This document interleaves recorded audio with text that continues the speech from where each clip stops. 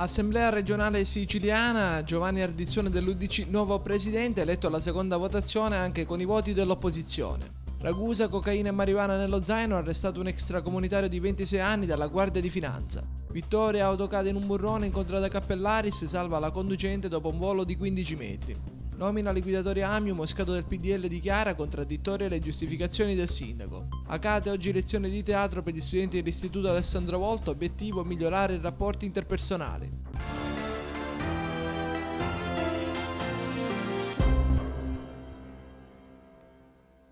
Buonasera e ben ritrovati ad un nuovo appuntamento con l'informazione di Free News. In apertura lo avete sentito dai titoli, ci occupiamo di politica regionale. Giovanni Ardizzone, il nuovo presidente dell'Assemblea regionale siciliana, è stato eletto alla seconda votazione con 46 preferenze su 90, il minimo necessario. Per la prima votazione ne servivano invece i due terzi. Decisivo comunque il ruolo dell'opposizione che ha garantito con i calcoli fatti per così dire a tavolino i voti necessari mancanti. Buona la seconda. Giovanni Ardizzone dell'Udc, avvocato di 47 anni, è il nuovo presidente dell'Assemblea regionale siciliana. È stato eletto alla seconda votazione dopo la prima fumata nera con 46 voti, il numero minimo per poter essere eletto. Antonio Venturino del Movimento 5 Stelle ha avuto 15 voti, Giuseppe Lupo del PD4, Antonello Cracolici del PD, Giancarlo Cancellieri del Movimento 5 Stelle, Arancio del PD e Alloro del PD 2 voti, 13 schede bianche. Dunque la maggioranza allargata ha funzionato alla perfezione, visto che il presidente Crocetta può contare solo su 40 deputati. Ma c'è stato anche qualcuno che dall'opposizione ha provato a creare scompiglio votando altri esponenti della maggioranza o il capogruppo del Movimento 5 Stelle Cancelleri. Ha voluto ringraziare tutti il neopresidente dell'Assemblea regionale siciliana Giovanni Ardizione subito dopo l'elezione. Ardizione ha quindi preso il posto nello scranno più alto di Palazzo dei Normanni. Assicuro il mio impegno ufficiale affinché cessi la prassi delle leggi di spesa approvate nottetempo, spesso frutto di compromessi al ribasso. A questo punto, se è vero il detto latino pacta servanda sunt, all'opposizione MPA, Grande Sud, PDL e Cantiere Popolare dovrebbero andare una vicepresidenza, un deputato questore e due presidenze di commissioni parlamentari. Insomma, la prima seduta dell'Ars è stata all'insegna del volemo se bene e altro che rivoluzione. Altro cambio della guardia all'ASP 7 di Ragusa, Salvatore Cirignotta ritorna a Palermo a dirigere l'ASP 6 del capoluogo siciliano. A Ragusa arriva invece l'architetto Angelo Aliquò, ex capo della segreteria dell'assessore alla sanità Massimo Russo. Cirignotta aveva sostituito Ettore Girotta lo scorso 14 luglio e solo dopo quattro mesi rientrerà dunque a Palermo. Sull'avvicendamento probabilmente è pesato il giudizio negativo espresso forse da qualche deputato ibleo naturalmente sulla vicenda. Ritorneremo nelle prossime edizioni del nostro TG.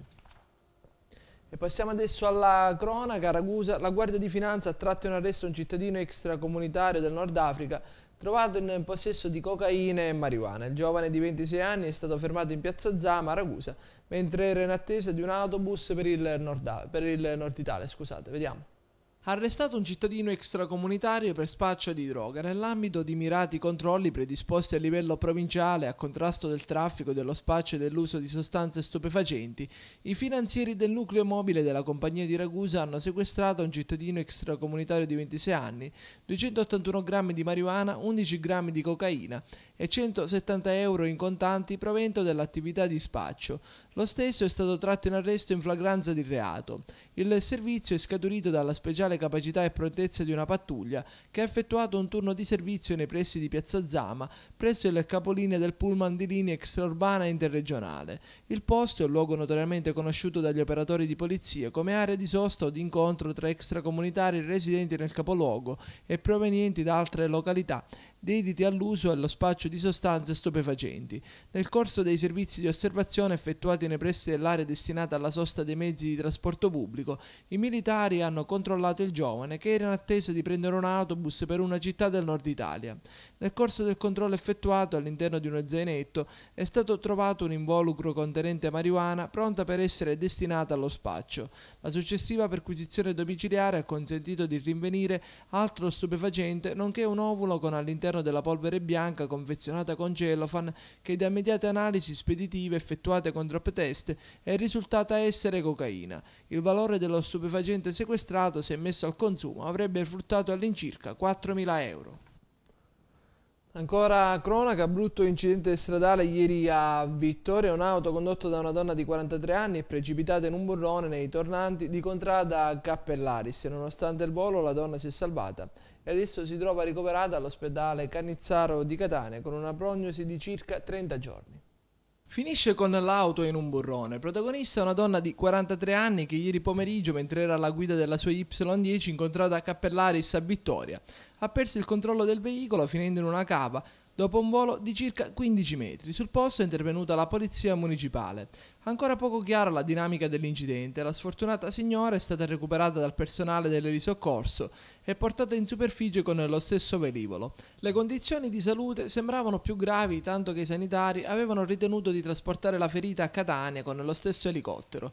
I vigili del fuoco hanno faticato per estrarre la donna dalle lamiere contorte dell'auto. Dopo aver sentito il marito, gli agenti della polizia municipale attendono di ascoltare la moglie, che come detto si trova ricoverata al canizzario di Catania, dove per fortuna non versa versa in gravi condizioni. Per lei frattura alle costole giudicate guaribili in un mese. Sul posto anche una gru per rimuovere quello che è rimasto dell'auto. Fino a tarda serata infatti i vigili del fuoco e i vigili urbani hanno lavorato per recuperare la carcassa del mezzo. Una collaborazione salvavita è proprio il caso di dirlo tra gli agenti della questura di Ragusa e quelli del commissariato di Bagheria in provincia di Palermo. Una donna ha infatti tentato il suicidio, ma è stata salvata dagli operatori di polizia. Sentite il servizio. Salvata dagli uomini della squadra volanti della questura di Ragusa, una giovane donna di Bagheria che aveva scritto un sms al suo psichiatra ragusano in cui diceva di volersi suicidare.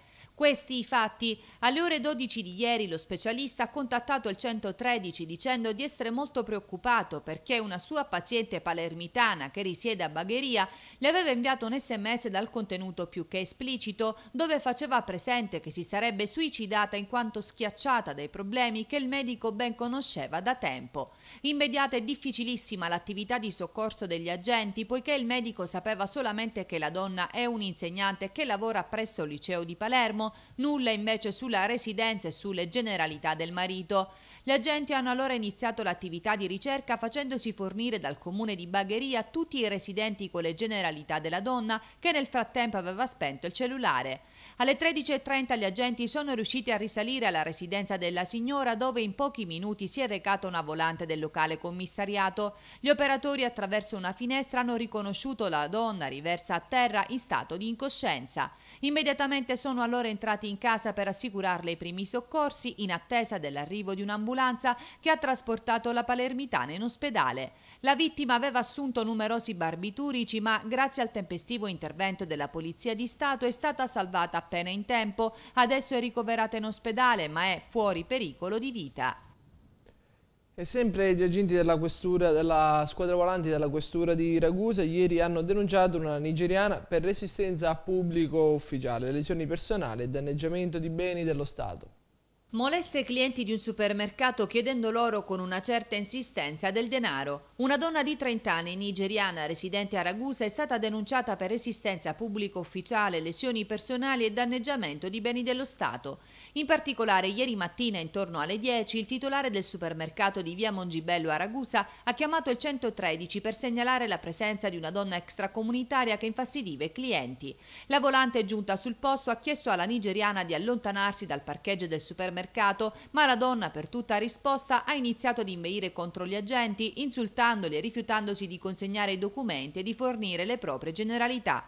Gli operatori l'hanno a quel punto invitata a seguirli in questura per identificarla, ma la donna ha continuato ad opporre un'energica resistenza. Gli agenti le hanno anche chiesto di farsi portare i documenti da un familiare, ma dopo essersi categoricamente rifiutata, la donna si è scagliata contro uno di loro, colpendolo a volto con uno schiaffo. Solo l'intervento dell'altro operatore ha permesso di bloccarla. Con grande sforzo la trentenne è stata fatta salire sulla volante e durante le operazioni tanta è stata la violenza utilizzata che ha danneggiato lo sportello dell'auto di servizio. Al termine degli accertamenti gli agenti hanno dovuto fare ricorso alle cure mediche del pronto soccorso. La donna è stata denunciata in stato di libertà, essendo madre di un bambino di tre anni che doveva andare a prendere a scuola, essendo separata dal marito.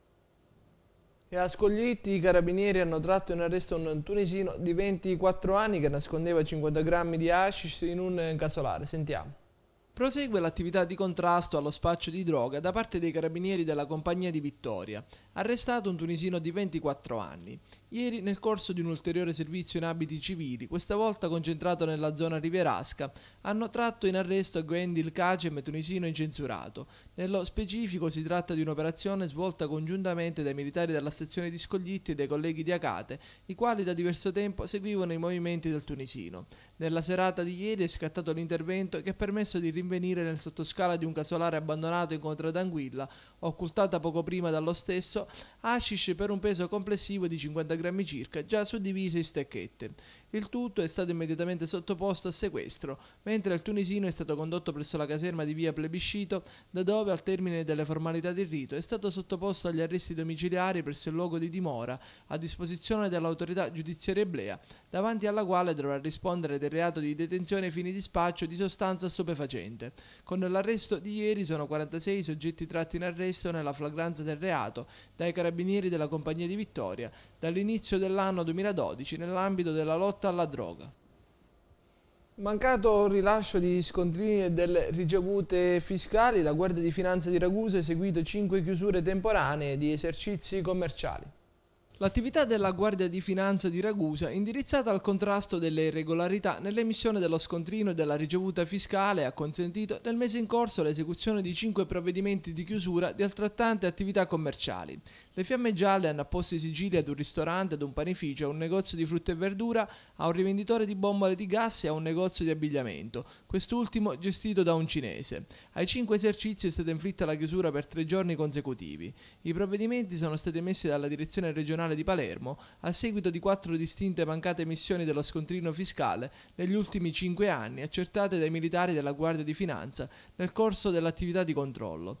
Dall'inizio dell'anno il Comando Provinciale di Ragusa ha eseguito nei confronti di tutte le categorie economiche 2.707 controlli tesi a verificare la regolare emissione dello scontrino e della ricevuta fiscale. Di questi il 40,5% ha dato luogo alla rilevazione di infrazioni. Inoltre dal 1 gennaio sono state già effettuate ben 60 chiusure di esercizi, una delle quali per 10 giorni lavorativi. Le categorie interessate sono state varie, ma il dato preoccupante è rappresentato dal fatto che più del 50% dei provvedimenti provvedimenti ha riguardato attività commerciali gestite da cinesi. Ci fermiamo, adesso c'è la pubblicità, tra poco.